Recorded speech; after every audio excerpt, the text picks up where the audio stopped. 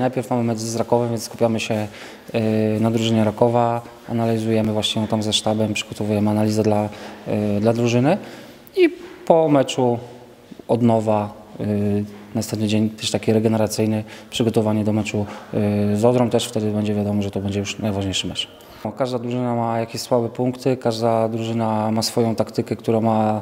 plusy i minusy, więc my na pewno tutaj nie, nie załamujemy rąk, że gramy z Rakowem, który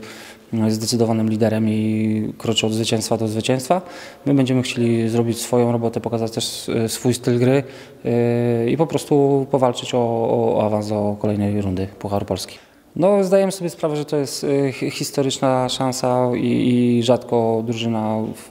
do tej rundy docierała. Też musimy mieć na uwadze zdrowie zawodników, bo takie zaszafowanie zdrowiem mogłoby spowodować, że ktoś będzie miał pół roku przerwy i nie będziemy na niego mogli liczyć y, w, w przysz, przyszłej rundzie, więc tutaj też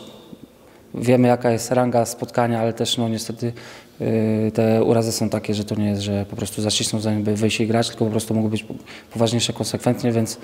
tak, takie, podjęliśmy, y, takie podjęliśmy decyzje. Nie jest powiedziane, że ktoś z nich nie dojdzie na mecz z Odrą Opole. O ile znam trenera Paszuna, to nie, to nie pozwoli na jakieś rozluźnienie i brak motywacji, więc tutaj musimy się liczyć z tym, że, że Noraków przyjedzie naprawdę y, też z wiarą w zwycięstwo i na pewno też będzie wiedział, że no to jest już no, tak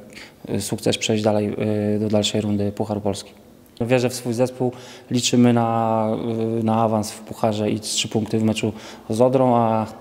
jak będzie to boisko pokaże.